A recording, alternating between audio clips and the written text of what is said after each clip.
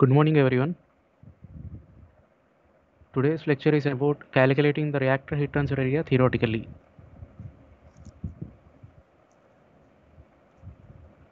So before going into the topic, let's see the basic things so that we'll be having some alignment.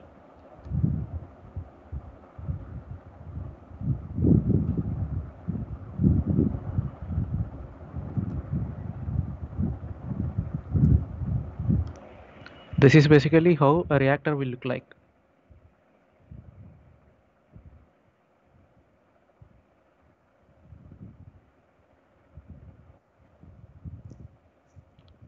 A reactor is nothing but a cylindrical vessel which is equipped with a bottom dish as well as a top dish.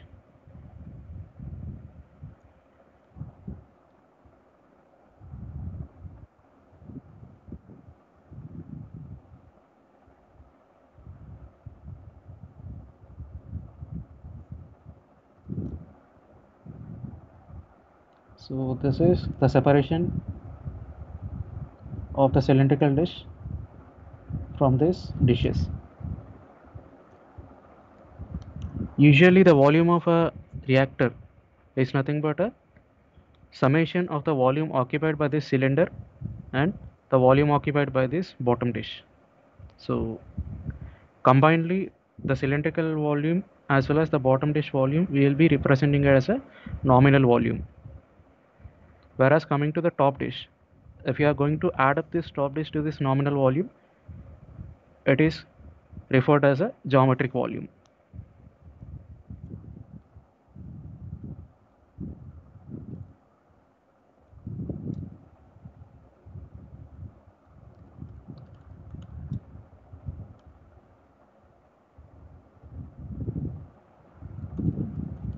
Nominal volume equals to cylindrical volume plus bottom dish volume. So usually we'll be referring the bottom dish as disk and the top dish as dome. Geometric volume is nothing but a combination of cylindrical volume plus bottom dish volume plus top dish volume. For estimating the cylindrical volume, we will be using the formula.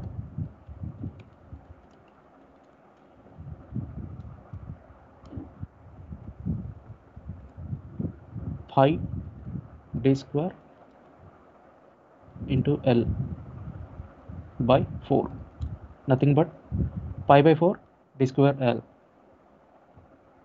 Coming to this bottom dish usually there will be different types of bottom dishes are available. So there can be like semi elliptical tori spherical conical as well as sometimes it is going to be hemispherical.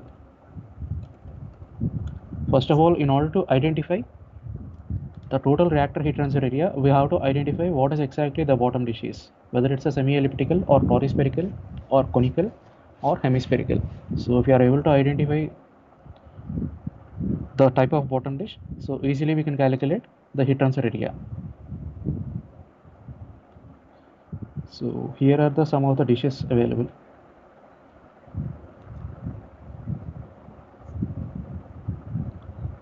This is how a semi elliptical will look like. And this is the tori spherical and this is the hemispherical. Conical is going to be it will take the shape of a cone. Usually the glass line reactors like some of the glass line reactors will be provided with the conical bottoms. So if you are able to see there will be minor variation when compared between the semi elliptical and tori spherical. So tori spherical will be having a type of a flat end at the bottom so here itself we will be having a bottom wall. Whereas coming to the semi elliptical so the curvature will remain same. Semi elliptical head the name was derived from a shape ellipse. While coming to tori spherical sorry while coming to this hemispherical it is nothing but a half sphere. While coming to the story spherical so it is the combination of two radius. One is the crown radius and the second one is the radius of a torus. I'll show how the name was derived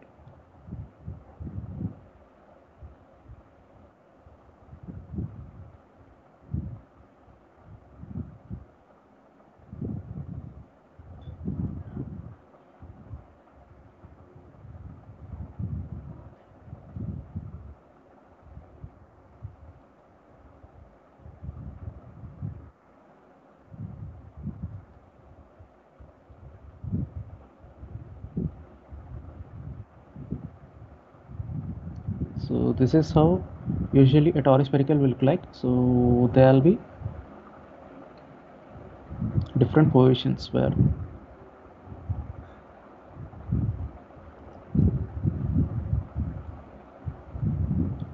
if you are able to see the breakup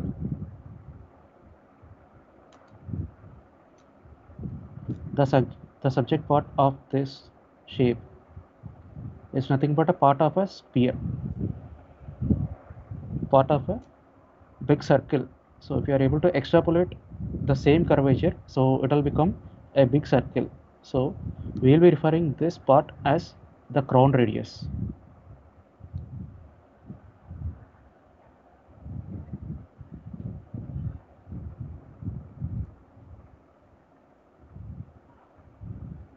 It will represent a circle. So we will be referring it as a crown radius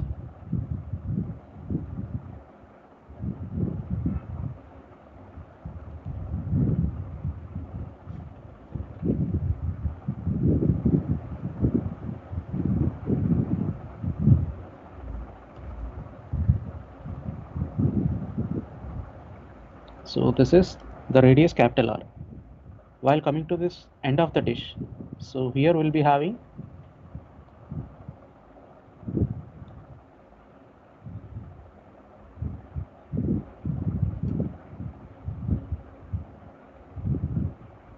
so here some small type of torus can be fitted up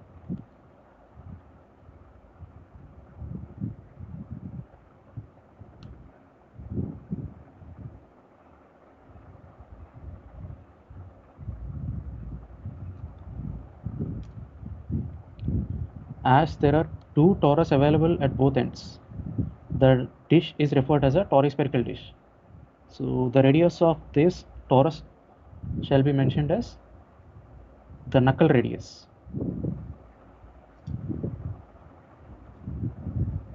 This arrow represents the area of a knuckle. So using this we need to derive the area of a torus spherical dish and this area is considered as a transition between the crown radius and towards the torus. So that's the reason the name was derived as tori spherical head. Why? Because there will be two torus available at both the ends. So the area of this torus shall be represented as knuckle radius. And the area sorry the radius at the center will be referred as the crown radius capital R. So now we will see the formulas for estimating the areas, the surface areas of this total 3 plus the conical dish. If it's a semi-elliptical, we'll be using the formula pi by 2 into a into b while coming to this tori spherical sorry uh, while coming to this tori spherical the area i have actually tried to derive using a regression mechanism from minitab. Why? Because we will be having different types of reactors from different vendors. As they are not going to be the same so in order to get some alignment i have taken all the volumes all the measurements of the reactors of approx 35 reactors which includes the glass lines also the glass lines as well as the SS316 reactors and some Hastelloy reactors. By checking all these measurements, I have derived a common equation. So this equation is only an approximate or approximate equation. it's not an exact thing it will be having some variations but the fit for this equation is more than 90 percent so this is pi by 4 into 1.147 multiplied by d. This is nothing but a internal dia to the power 2 and coming to this conical radius. So it is pi into r into r plus square root of h square plus r square to the power 0.5 so this is the formula for conical dish while coming to hemispherical the formula is 3 into pi into r to the power 2 so first of all while trying to estimate the heat transfer area we need to check the type of dish. Then based on this type of dish we have to use the respective formulas so coming to the story spherical since this is a customized one so I have taken different dimensions from different reactors which is from a different vendors. So I have finally found out this equation using regression and the fit for this equation is greater than 90 percent. So remaining 10 percent can be erroneous results. Error in the sense it will be having minor variations not much variations. So using this now we have to calculate the heat transfer area. Why i have chosen this topic is in the last video that i have made like the estimation of a condenser area i have mentioned that the condenser area required is equals to the heat transfer area of reactor. So i got some queries like how to estimate the heat transfer area of a reactor. So i'm making this video now. To make you understand better i got a GI drawing from a uh, GI drawing of a reactor from india mart. So this is how usually a GI drawing will look like. So this is a reactor and I think these are the pitch blade turbines or uh, flat blade turbines I don't know exactly. From this GI drawing we need to consider the height of the cylinder and the internal dia of the reactor. So if you are able to see the internal area of the reactor is 1850 usually in a GI drawings the units for these measurements are going to be in millimeters so the diameter is 1850 and the height of the cylinder is 2200 so I'll be taking this.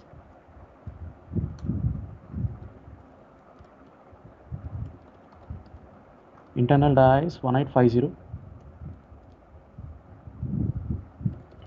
and height is 2200 mm the internal dia can be small d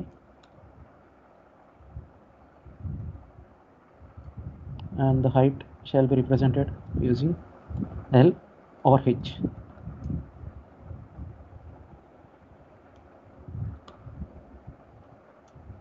So now I'll try to consider the case of a tori spherical dish end. In order to estimate the heat transfer area, so first of all I'll try to estimate the volume, sorry, uh, first of all I'll try to estimate the heat transfer area of a cylindrical vessel.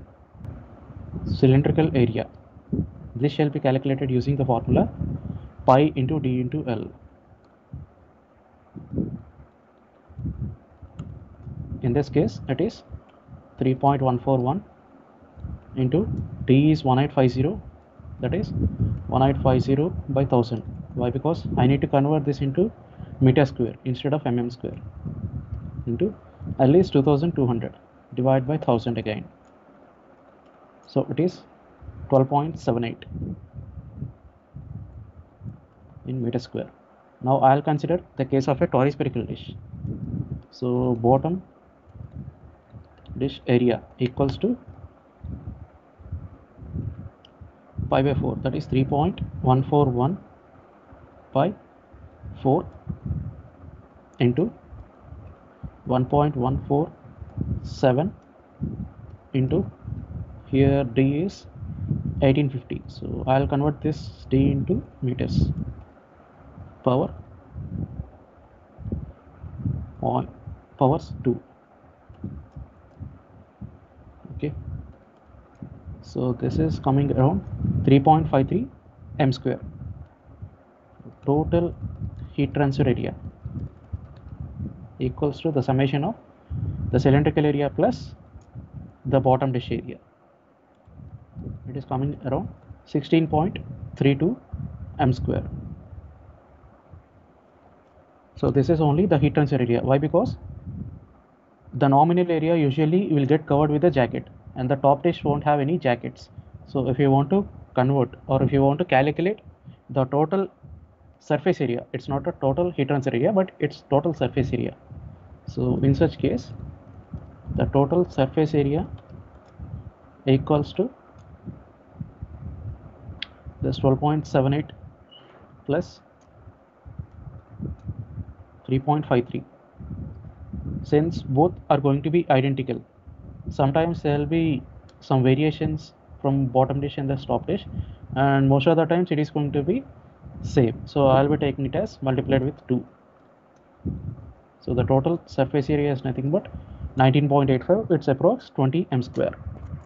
And sometimes if your reactor is having a conical bottom so in that case what will happen is the top dish is going to be semi elliptical or torus spherical but while coming to this bottom dish it is going to be conical. So you want to calculate the conical area also.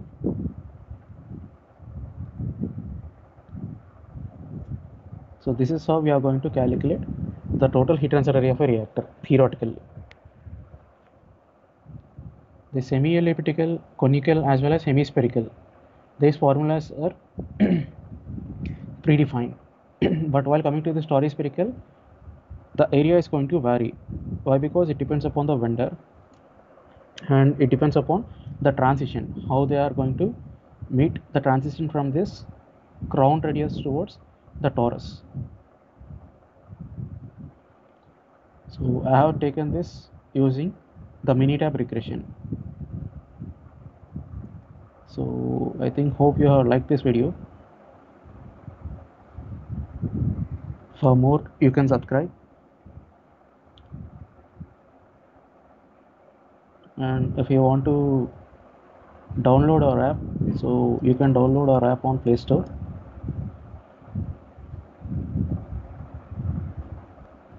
app name is pharma engineering calculators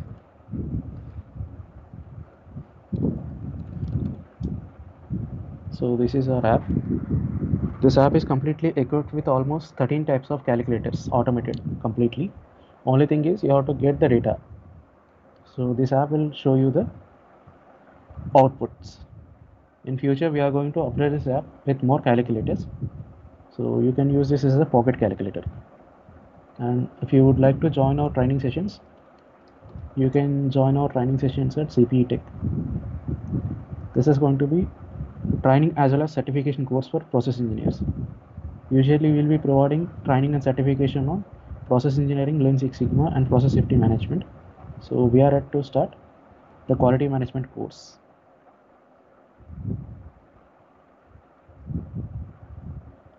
So thanks for watching the video